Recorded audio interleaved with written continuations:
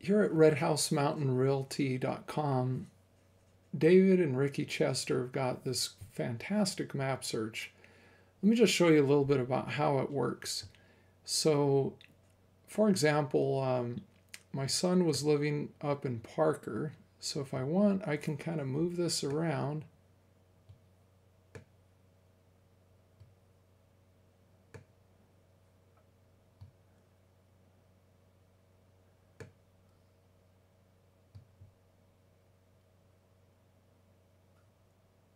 So as I zoom in and out, this gives me more uh, information. It doesn't look like there's a lot in Parker. There we go.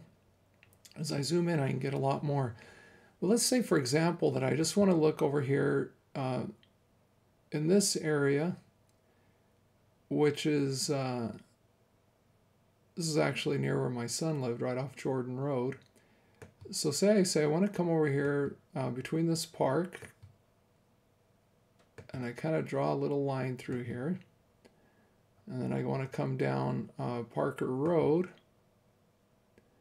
and then maybe come across up on this uh, road here. And you can make these as detailed as you want them to be.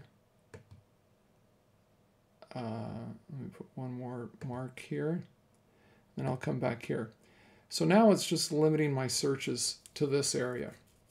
So if I say, well, uh, you know, we have a pretty good sized family. Uh, we just want homes that have four bedrooms or above because we're also going to want an office. And then, uh, you know, we're kind of on a budget here. And so we want homes, um, looks like below 500,000. Oops. There we go. I put 200 there for some reason, but let's bump that over to 500. And so now I can see, well, these are the only uh, properties available. Again, I, uh, you know, as I move in here and I can zoom into these a little closer, it's only showing the properties in that area that I want. So another way to do this is to say, well, um, here's the Centennial Airport and uh, I'm going to get rid of that thing. And let's just say that my son was actually working on a construction project over here by Centennial Airport. I think their offices were up here. And so he says that's where our headquarters is, is right there on that dot. And I want to find homes within a five mile radius. So something like that. So now this is only showing the homes in that area. Again, it's keeping these uh, search criteria. So let's say we say, well, if it's got four bedrooms, we want it to also have four baths. And we're just kind of dialing this down a little bit.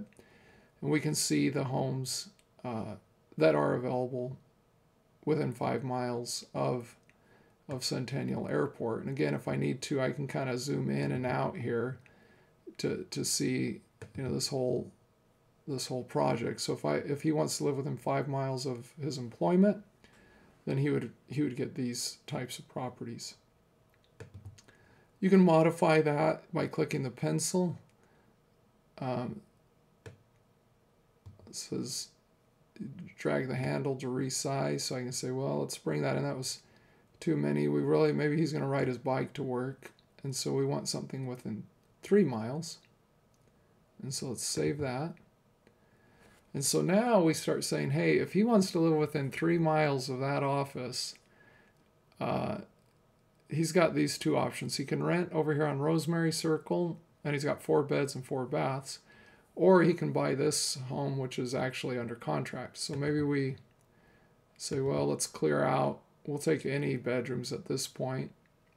And there's some more search criteria here where I can say, well, I just want it in this particular MLS area, which I think most people won't do, but I can search by certain property types.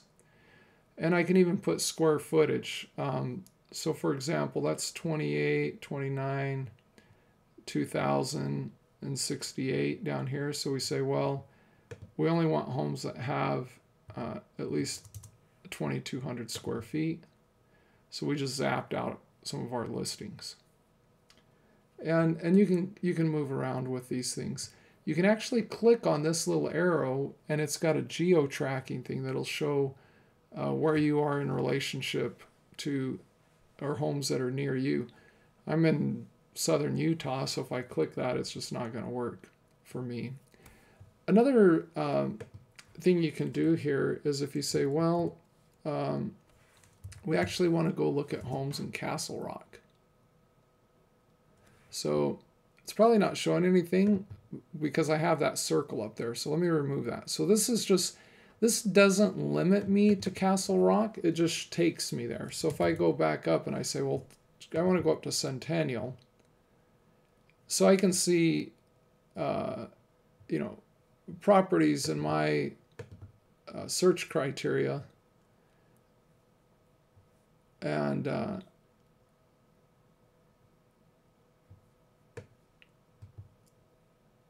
as we move around, you can see that it's loading properties out here in Parker and stuff, but we just took us to Centennial, uh, you know, to start our to start our search. So you can do this for any uh, area. You know, like again, if I click on this property, all of a sudden it's going to bring it here. Uh, if I click on this one, it brings it up into focus. So we can we can move around uh, through these properties like that. You can zoom into a sp specific area and uh, but we think this is a great tool. The map search can be really helpful to really dial in on an area that you're looking for.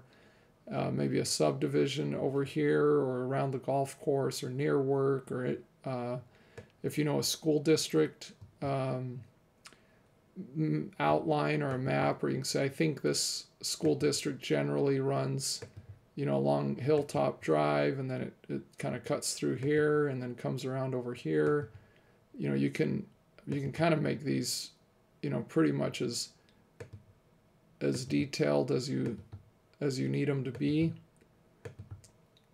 and uh, get all kinds of crazy shapes in here and get right to the homes that you're looking for. So that's the map search at redhousemountainrealty.com.